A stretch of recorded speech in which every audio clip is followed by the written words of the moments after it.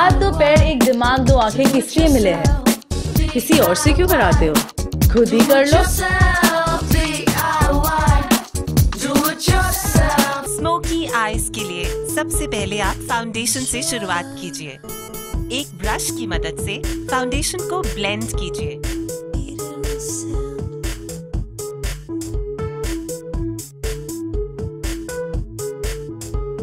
Black eye shadow अपने brush पे लीजिए और आईलेट्स के आउटलाइन पर अप्लाई कीजिए। इसके बाद इसे अच्छी तरह से ब्लेंड कीजिए। जब आपका पूरा आईलेट इवन टोन हो जाए तो एक व्हाइट हाइलाइटर अपनी आईब्रोज के नीचे अप्लाई कीजिए।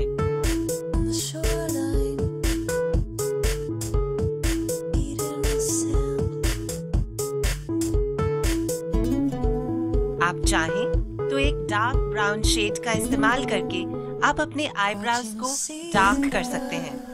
अब आप आईलाइनर को इस तरह से अप्लाई कीजिए। आईज की शेप को और भी उभारने के लिए लोअर लिप्स पे काजल लगाइए। एक ब्रश की मदद से काजल को थोड़ा सा स्मज कीजिए। आईलैशेस को कर्ल करने के कर्लर्स का इस्तेमाल कीजिए। और भी ड्रामेटिक इफ़ेक्ट देने के लिए मस्कारा अप्लाई कीजिए।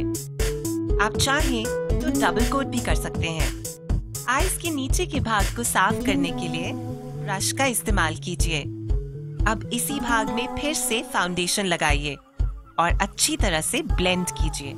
इससे आपकी आई मेकअप को एक क्लीन लुक मिलेगा। लाइट शेड का ब्लश अप्लाई कीजिए।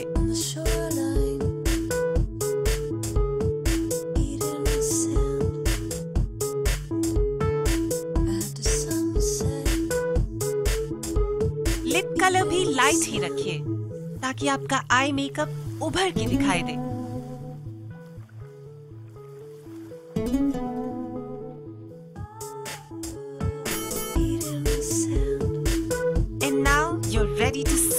pocket drop.